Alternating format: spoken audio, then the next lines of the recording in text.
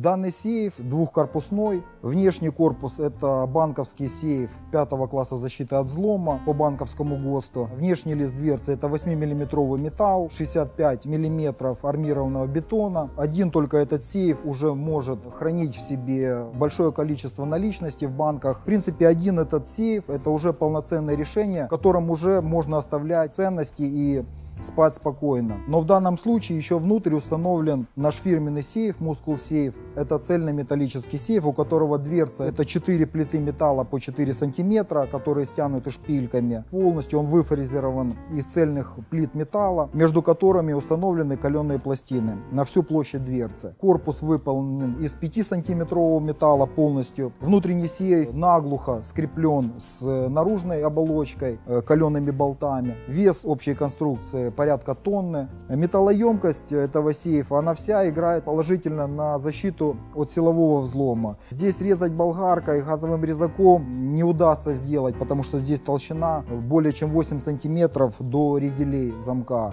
Таких решений, таких толщин, их э, нет ни одного производителя. Поэтому вот эту конструкцию, состоящую из двух сейфов, точно можно назвать неприступной при правильном ее креплении.